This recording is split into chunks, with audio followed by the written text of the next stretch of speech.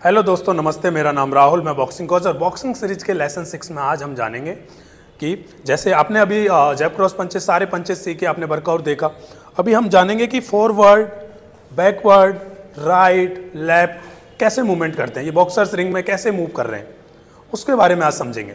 Okay जो भी आपका स्टांस है, सबसे पहले तो आपको अपने स्टांस में आना है। अब हमको एक बात ध्यान रखनी है कि मैं जिस भी साइड जाऊँगा, वो वाला लेग मेरा पहले मूव करेगा। अगर मुझे फ्रंट जाना है तो ध्यान रखना है कि गार्ड फ्रंट वाला लेग पहले और टॉस में होना चाहिए, फिर पीछे वाला।